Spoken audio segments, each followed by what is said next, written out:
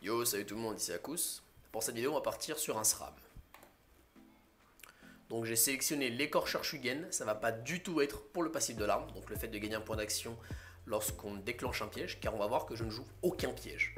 Voilà. Par contre, le sort traversé va beaucoup nous intéresser, car pour 3 points d'action, on peut faire 8 dégâts, donc 5 dégâts plus 3 de l'état déphasage. Donc voici le deck, hein. c'est un deck tri-éléments comme vous pouvez le voir avec les compagnons. Donc il se base toujours sur cette vision actuelle que j'ai sur le jeu, c'est-à-dire que les sorts, les petits sorts sont beaucoup plus intéressants qu'avant. D'ailleurs, pas, ça n'a rien de subjectif, hein, c'est factuel. Hein. Les sorts, les petits sorts sont plus intéressants qu'avant. Mais c'est juste que pour le moment, j'essaie vraiment d'optimiser cette vision-là. Après, dans les autres vidéos qu'on va voir, mon, point de vue aura très certainement changé et donc je vous présenterai des choses plus variées. Mais voilà, pour l'instant, je suis encore dans cette idée-là de je balance plein de petits sorts pour faire beaucoup de petits dégâts. Donc c'est un deck agressif. Alors, j'ai mis le dans les côtes. Pour 2 points d'action, on a 5 dégâts et 1 de jauge, c'est très bien. Le meilleur doigt qui donne 1 point d'action, donc virtuellement il coûte 1. Qui va être euh, très intéressant. Euh, en fait, c'est un peu comme la fessée de, de, l'Osamodas, 5 dégâts pour 1. Ensuite, la pulsion, donc 5 dégâts pour 3 un de jauge R, mais surtout le fait de décaler l'adversaire, c'est très intéressant pour les adversaires qui veulent camper au bord par exemple, ou alors euh, ceux qui essaient de fuir, ça peut être intéressant de gagner une petite case. Ensuite le dernier champ qui est actuellement mauvais, je trouve qu'il est mauvais car euh, l'effet proc, hein, donc l'effet qui fait que c'est plus puissant, c'est toujours sous 10 PV. Alors il faut savoir qu'au niveau 1 c'était aussi sous 10 PV, donc au niveau 1 c'était intéressant car c'était finalement quand on avait moins d'un quart de notre, vie, alors que là c'est quand on a moins d'un neuvième de notre vie, donc c'est pas terrible. Hein. Je sais pas si c'est un oubli de la part d'Ankama, mais ne pas se caler sur euh, cet effet là, c'est terrible. Mais je l'ai surtout mis en fait pour les euh, deux jauges, une O et une R que j'ai besoin, et malgré tout, 7 dégâts pour 4, c'est pas si terrible que ça. Ensuite j'ai mis le dans les yeux, on va voir que l'état inventé j'en ai besoin, et euh, donc je l'ai mis car, pour un point d'action, encore une fois, hein, car il donne un point d'action dans, dans, la réserve. Pour un point d'action, on affiche 4 dégâts, donc c'est pas mal. Ensuite, la peau d'ombre.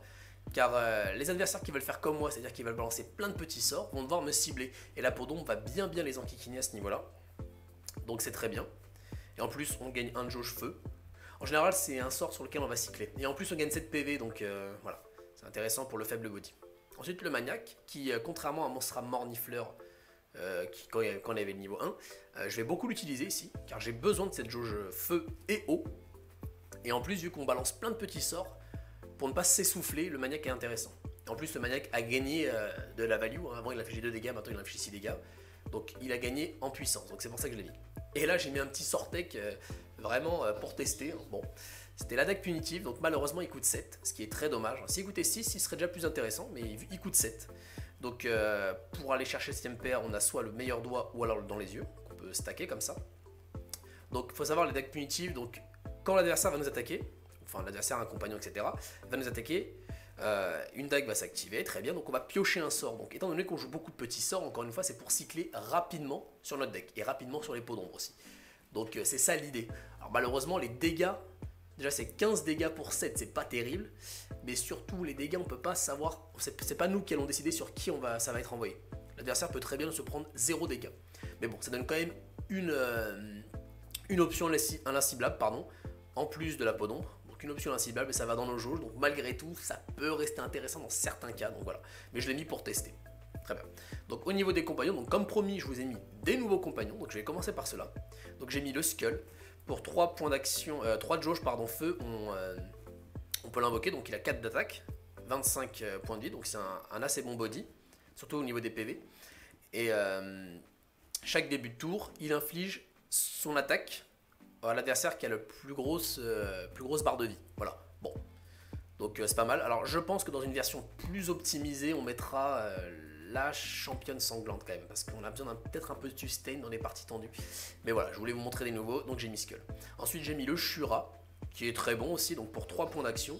3, 3 jauges haut, pardon, décidément. ça a un effet déphasage, donc l'adversaire va avoir du mal à s'en échapper. Et en plus, il permet de bah, si jamais il est au corps à corps de notre adversaire, donc quand on l'invoque, de profiter des dégâts du déphasage. Donc quand on invoque, souvent c'est 7 dégâts qui apparaissent. Donc c'est très fort à ce niveau-là. Ensuite j'ai mis la championne du blasphème, étant donné que je joue un dans les yeux. J'ai mis la championne du blasphème pour profiter de l'état inventé, car il ne me sert à rien. Je, ne vais pas m'amuser à jouer le, le frappe acrobatique ni le grappin nocturne. Donc ça c'est deux sorts que À l'heure actuelle, je trouve excessivement mauvais, mais bon, c'est pas grave. Alors, donc très bien. Donc la championne du blasphème pour permettre de profiter de notre état éventé. Donc il fiche 8 dégâts, donc c'est très bon. Et ensuite j'ai mis le Farnix, donc toujours dans cette idée de cycler rapidement sur notre deck. Et en plus les mires ont été buff, donc j'ai mis Farnix. Voilà. Toujours dans cette idée là. Et comme vous pouvez le voir, on a vraiment que des petits compagnons. Donc c'est vraiment dans cette méta agressive. Voilà. Donc je pense avoir fait le tour du deck, on va passer au gameplay. Pour ce premier match, nous sommes contre un Sacrieur Ombraden. Donc il gagne 6 points de vie en face, ça veut donc dire qu'il joue à transposition. Euh, transposition qui pourrait vraiment être un sort très intéressant, mais il faut vraiment réduire son coût en points d'action. 5 PA, c'est beaucoup trop. En fait, ça correspond au nombre de points d'action qu'avait Bon dans la toute première version. Bon coûtait 5 points d'action. Donc peut-être que mettre transposition à 3 PA, ça rajouterait beaucoup de richesse au gameplay Sacrieur. Bon, alors ici, je mets juste le dernier souffle et le meilleur doigt pour faire euh, pas mal de dégâts et commencer à avancer sur ma jauge eau. Parce qu'il faut savoir que la jauge eau et feu, j'ai peu de sorts qui me permettent de les avoir. Hein. C'est notamment l'apodon pour le feu, le dernier, le, dernier champ pour le haut, et sinon pour les deux à la fois, c'est euh, les dagues là. Donc c'est pas un sort euh, exceptionnel non plus. Donc il met l'état mouillé, donc ça peut être une version avec l'état gelé en face, ce qui est un très bon choix, dans la mesure où euh, l'état gelé est très fort. L'adversaire passe avec 3 PA, donc je pense que c'est une erreur de deck building là. Parce que comme, perdre autant de points d'action premier tour, c'est, voilà, je pense que c'est une erreur de deck building. Donc ici, je me lance bien sûr ma peau d'ombre avant parce que c'est elle que j'ai envie de récupérer en premier. Et je tape avec mon, euh, sort déphasé là. Et je recule, donc je me mets pas à portée d'un sillage. Par contre, je me mets à portée d'un saut audacieux. C'est vrai qu'il a un point d'action dans sa réserve, donc euh, j'y ai peut-être pas pensé à ce moment-là. Donc on va voir ce que l'adversaire a pour contrer l'inciblable. Éventuellement son propre inciblable, donc avec le dernier souffle. Auquel cas j'aurais mes decks punitifs, mais malheureusement il passe son tour encore une fois, c'est voilà, c'est pas terrible. Car euh, ne pas avoir d'option pour l'inciblable, c'est assez. C'est très vite puni en fait. Alors ici, voilà, je mets dans les yeux le Farnix. Donc oui, j'ai pas envoyé ma championne du blasphème au tour d'avant parce qu'il n'avait pas été inventé en plus parce que j'avais besoin de pioche. Maintenant j'ai besoin de pioche, je mets le Farnix. Très bien, donc je peux balancer double sort grâce à ça. Je profite de demi Je décide d'attaquer avec, au corps à corps, enfin avec le corps à corps, pardon, de mon Farnix dans la mesure où il a réussi à me redonner une main. De toute façon, j'ai pioché le maniaque. Donc c'est s'il le tue, ça fera quand même des dégâts en moins sur moi.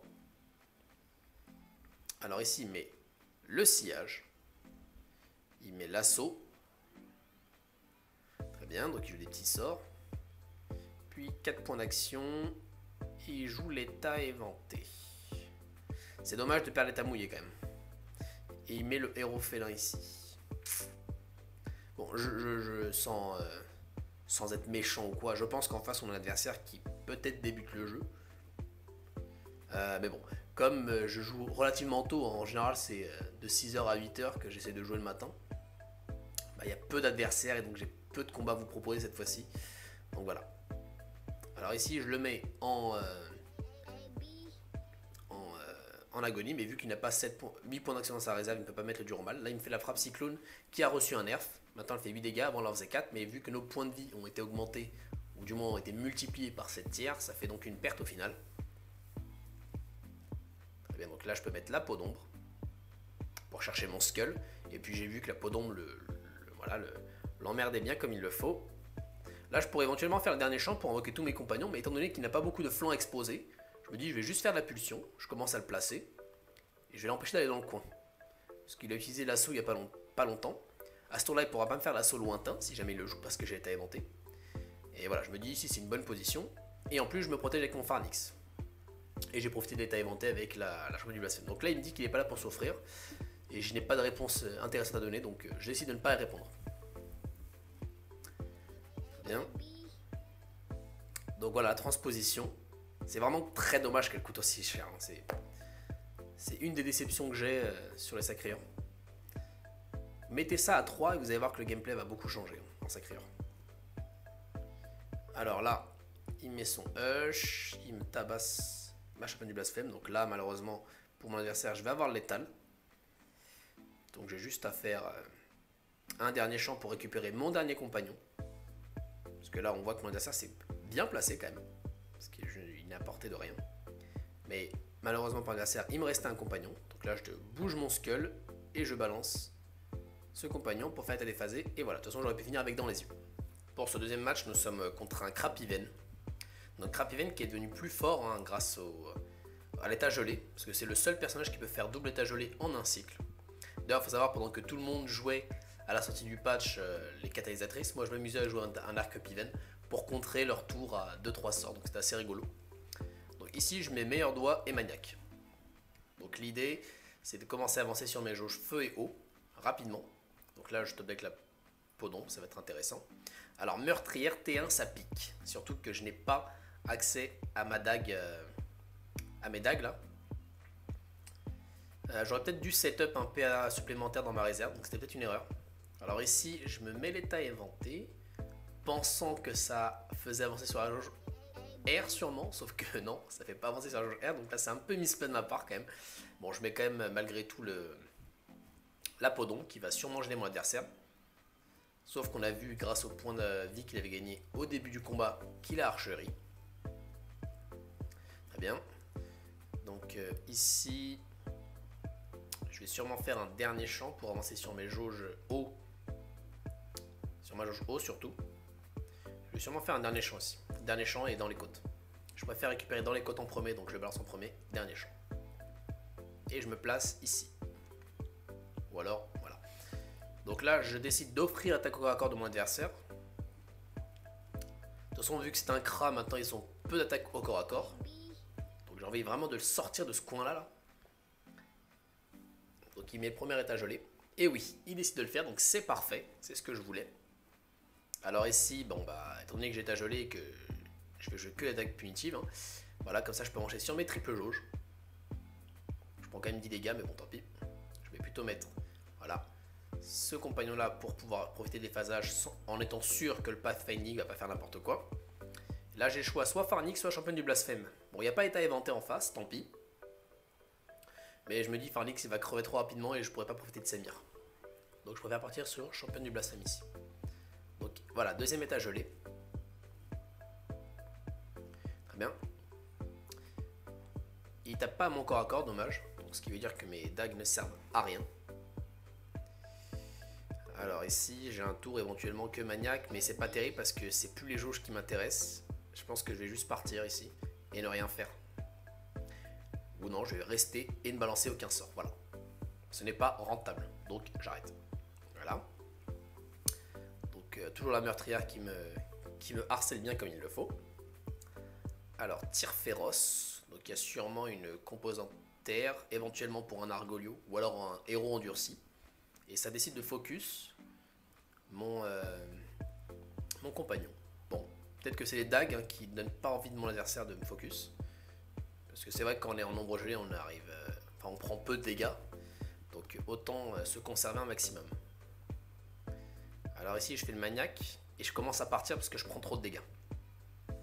Et je me protège évidemment. Donc l'avantage c'est que je me protège, le désavantage c'est que je lui ouvre une fenêtre de sortie. Mais je pense que 22 dégâts il me les faisait.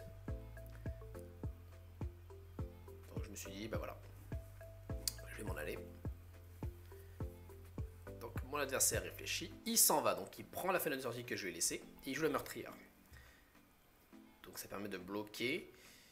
Alors par contre, le, placement de la, du compagnon haut là, il est pas terrible, hein, parce que je peux taper avec ma chambre du blasphème, surtout qu'il l'a pas terminé. Voilà, bon. Donc je vais taper avec mon skull. Ici j'ai la podon, il faut vraiment que je la joue. Ça me permet d'avancer malgré tout sur ma jauge R réfléchis peut-être à l'ordre, mais je pense que c'est ce qu'il faut faire. Donc j'avance avec ce compagnon. Ici, je peux éventuellement envoyer un dans les côtes pour avancer sur ma jauge R et ramener mon Pharnix plus rapidement, mais je décide de ne pas le faire. Non, si, peut-être. Euh, non, je le fais pas. Bon, c'est un peu étrange quand même. Hein. Enfin, premier tour, je m'envoie un, un, sort juste pour gagner un point d'action sur la tête. Et là, je n'envoie pas le sort. Bon, c'est des choix un peu douteux, mais bon, on va voir ce que ça va donner au final. Alors ici, il peut terminer ma Chopin du Blasphème, qui lui permettrait donc de s'extirper de cette situation délicate. Parce que je rappelle que mon adversaire, il lui reste que 9 points de vie malgré tout. Ma première dague qui s'active pour me permettre de piocher mon sort. Donc là, j'espérais qu'il n'avait pas son compagnon à 3 là, celui que je joue. Heureusement, pour moi, il ne l'a pas. Sinon, il avait le létal. Alors ici, il se met à bonne portée, à bonne distance, pardon. Euh, parce qu'il a 4 cases de mon compagnon haut. Il y a juste Skull qui peut le taper. Il va pas réussir à le finir à ce tour-là. Donc Skull pourra taper.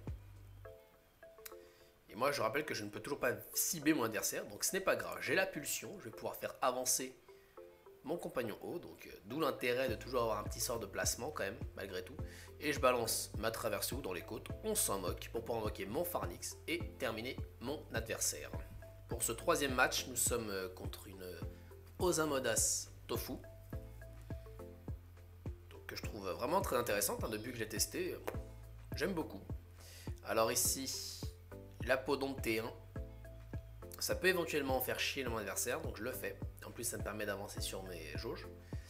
Euh, là, j'ai plusieurs choix, soit un meilleur doigt, soit une traversée. Je pense que traversée est quand même plus correct, même si le meilleur doigt me permet de setup euh, les, points d'action pour balancer la deck punitive. Bon. Donc je pars là-dessus. Mon adversaire joue au fou, donc il a une bonne sortie, enfin une sortie euh, convenable, on va dire. Très bien, donc l'incible n'a servi à rien, c'est pas grave, je voulais tester malgré tout. Ok. Alors ici, meilleur doigt maniaque, sûrement. Voilà, qui permet de faire quand même un tour à pas mal de dégâts et beaucoup de pioches. Ici, je reste... Je n'ai pas envie de lui offrir l'attaque au corps à corps parce que j'ai pas envie qu'il récupère un tofu. Voilà. mon adversaire euh, réfléchit. Alors, il met le fouetté. Il met le traqué. Donc, c'est une version avec... Euh, c'est une version feu air. Là, je balance la pulsion. C'est parfait pour avoir l'initiative du corps à corps. Euh, la championne du blasphème. Il faut faire attention à utiliser ta inventé avant. Voilà, donc ça va sûrement être un dans les yeux, puis un dans les côtes. Voilà.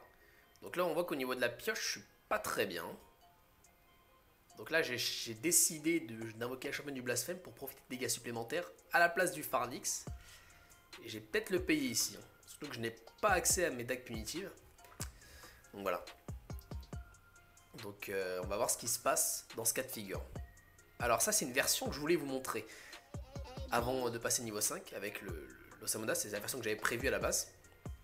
C'était une version euh, feu, air pour profiter de ta troupeau. Alors ici, voilà, je mets euh, mon état, des, mon état inciblable, pardon. Je mets mon skull et je tape avec la championne du blasphème. Donc ça va, au niveau de la main, j'arrive à, faire des tours convenables malgré tout. Euh, très bien. Donc mon adversaire réfléchit. Il a 4 jauges feu. Il décide de focus ma championne du blasphème. Donc voilà, l'état troupeau 2 qui permet de récupérer des points de vie. Donc c'est une sorte de, d'Osamodas qui permet de récupérer des points de vie. Donc c'est ce que je trouve intéressant. Moi je joue avec euh, championne sanglante et euh, sale bête infâme pour vraiment sustain à la fin de la partie. Alors ici, championne du blasphème permet de taper. Je tape aussi avec le skull. Je tape avec mon héros. 37 PV en face. Donc finalement j'ai fait un tour relativement faible. Hein. On voit que la pioche là me fait vraiment défaut. Donc j'ai mal géré mon truc. Donc c'était pas rentable d'invoquer la, la championne du blasphème. Hein. J'aurais dû, j'aurais dû euh, garder pour mon Farnix. Donc c'est intéressant, on voit que l'épée sanglante est partie malgré le fait qu'elle ne s'active pas. Bon. Alors là j'ai meilleur doigt, dernier champ.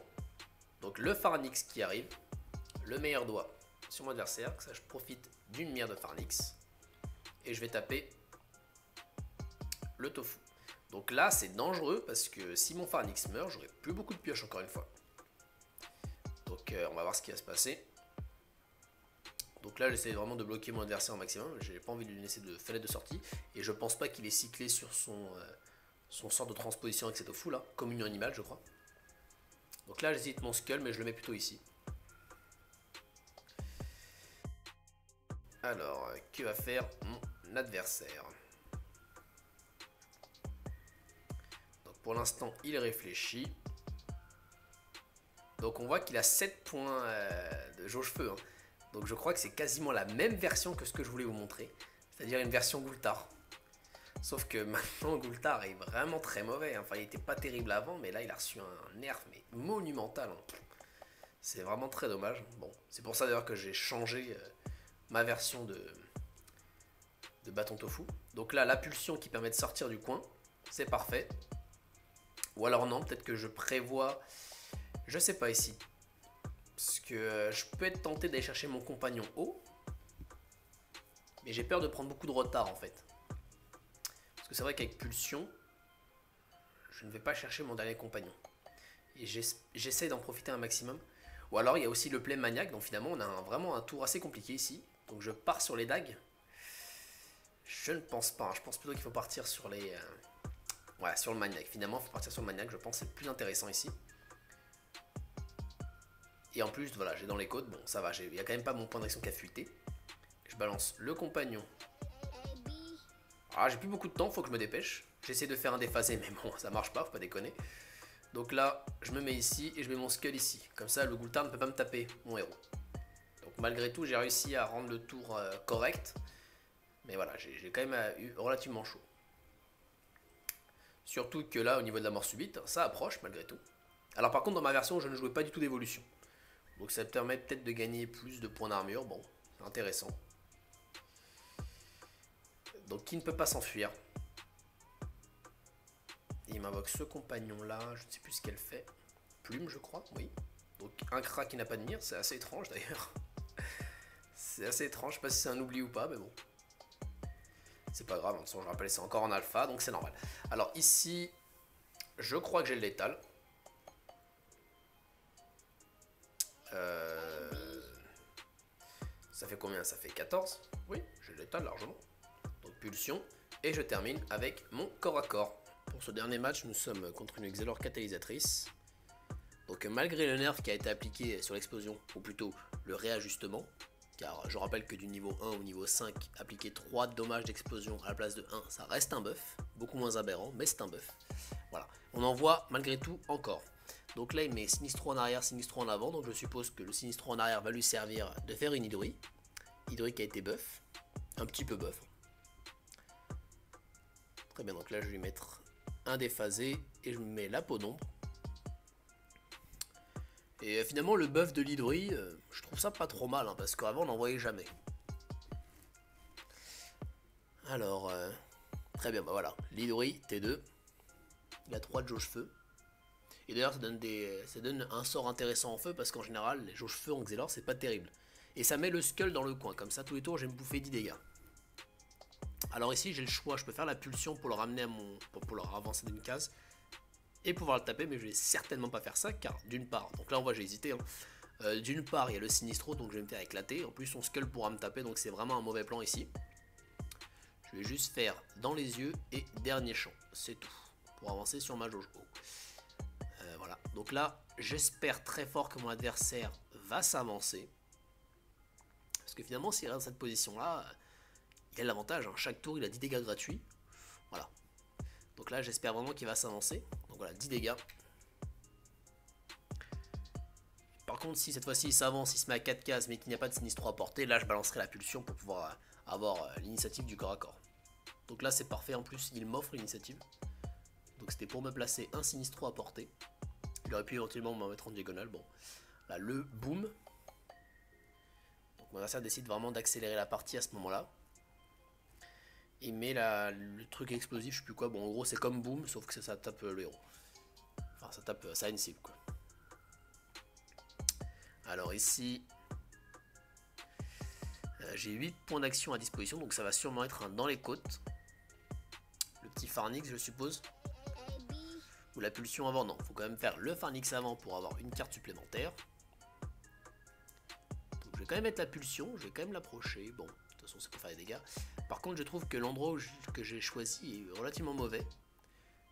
Voilà, donc en plus, je pioche le meilleur doigt, c'est parfait. C'est relativement mauvais dans la mesure où il y a forcément soit mon Farnix, soit moi qui va être près du Sinistro, qui va être à portée de l'explosion. Bon, après, mon Farnix a fait les doubles mires, donc euh, finalement, il a fait euh, la plus grande partie de son job. Donc là, je bouffe encore 10 dégâts. La téléportation forcée pour me replacer. Très bien. Alors on voit que mon adversaire n'a qu'une carte en main, donc il n'a pas eu la chronophagie, je crois. Ou peut-être qu'il l'a pas mise dans mon deck, auquel cas c'est une grosse erreur, je pense. Alors ici, la d'ombre, parce que je vais récupérer avant, puis la traversée. Voilà, je tape. Donc j'ai invoqué la championne du blasphème, je vais me servir du déphasage, voilà, pour mettre en plus hors de portée du sinistro encore, et infliger un maximum de dégâts. Très bien. Donc il ne reste que 26 points de vie à mon adversaire. Moi je prends mes habituels 10 dégâts par tour. Donc on pourrait éventuellement euh, envoyer un compagnon pour défoncer l'Idori.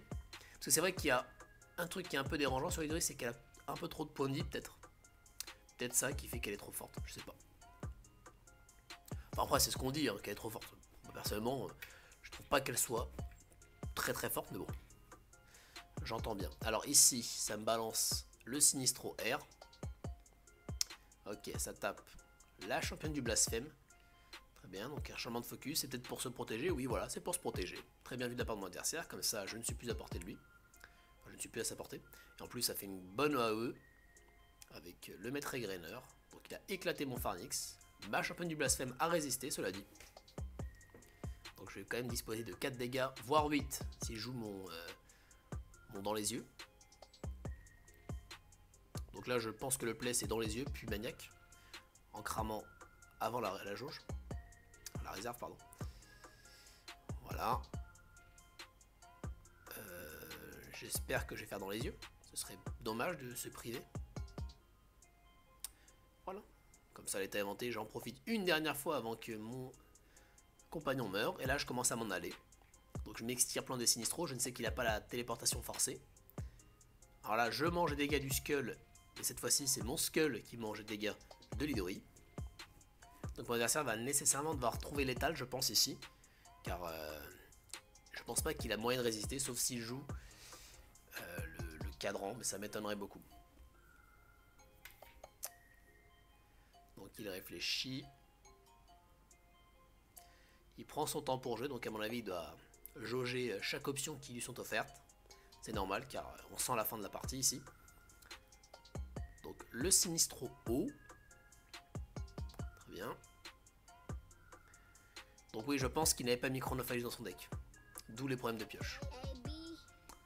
Ici, il focus mon Skull. Je sais pas trop, bon. Je pense qu'il avait aucun moyen de résister, selon moi. Donc c'est pour ça qu'il a choisi de faire ceci. Donc on voit qu'il m'a quand même bien mis, euh, bien mis cher. Hein. Il a pas le temps de taper avec son truc, mais c'est pas grave. Donc il m'a remercié pour le moment, je n'ai pas eu le temps de lui renvoyer la politesse, et c'est terminé. Cette vidéo est terminée. Si elle vous a plu, n'hésitez pas à mettre un petit pouce bleu ou alors à vous abonner. Et moi je vous dis à la prochaine. Ciao